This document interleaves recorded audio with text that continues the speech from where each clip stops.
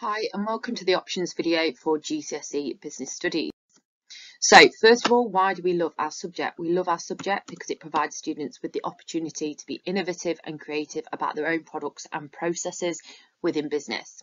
Not only that, but it provides students with transferable skills such as critical thinking, determination, communication, presentation skills, mathematical skills, and also confidence in your own ideas. So it's about providing you with skills that go beyond the classroom and will help you be successful later in life.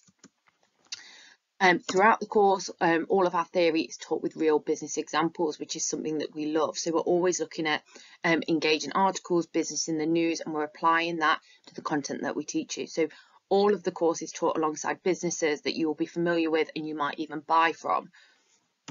Okay, so what will you study uh, when doing GCSE business studies? So um, there are six units that are taught across the two years. Now the first unit is business in the real world. This is where we look at how businesses are set up in terms of their ownership types. Um, and we look at things like location and picking the best locations for businesses.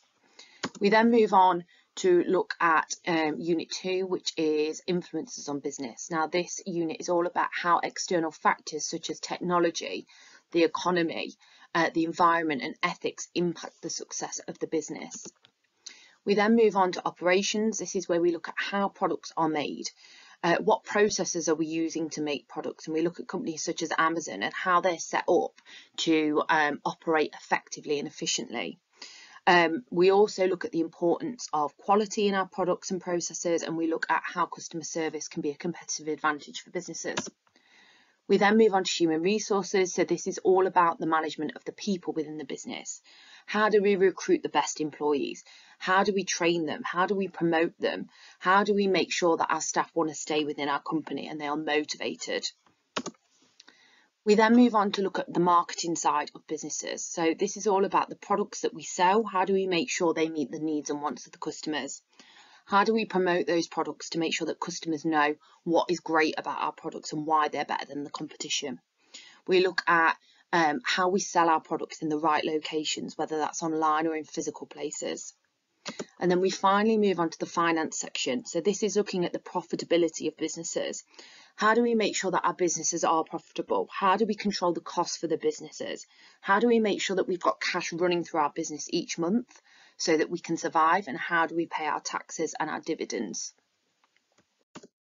Now, how will you be taught? Throughout the two years, you're taught through a variety of different methods. We do a lot of student-led activities. Um, all of our theories apply to business in the news, so making sure that it's really relevant and engaging for you guys, uh, using businesses that you either buy from or you might potentially work for in the future. We do a lot of activities centred around collaborative group work, and we also get you guys to do independent research um, projects and presentations as part of the course.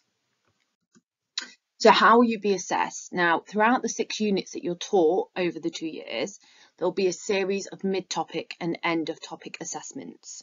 Um, so we assess you halfway through the unit to see uh, what progress you're making, what content we may, might need to go back over with you, and then we do an end of topic assessment using exam style questions. Now at the end of the two years, you are assessed through exams for your GCSE grade. So there are two papers, there's paper one and paper two. Both papers are an hour and 45 minutes each and they are equally weighted and how you perform on those exams will overall contribute to your GCSE grade, your final grade. There is no coursework um, with this course, it is all exam based. So what future careers can business studies lead to? Now business studies is a great one because it can provide you um, with a lot of different pathways to future careers. Um, now if you're thinking about staying on and going on to do future um, education such as university or A levels or even go to college, this subject provides you with the basic foundation knowledge of business to help you do that. But also if you're thinking of going straight into the place of work after your education, it will give you the transferable skills and the basic understanding of business in order to be successful in the workplace. Um, in the longer term, the future careers that this subject can lead to is things like retail buying, accountancy, teaching, uh, fashion buying, investment banking, product development and recruitment, just to name a few. Um, it's also a good one if you're thinking about setting up your own business. This subject provides you with the basic knowledge of the six different areas of business in order to be successful in setting up your own products or your own business ideas.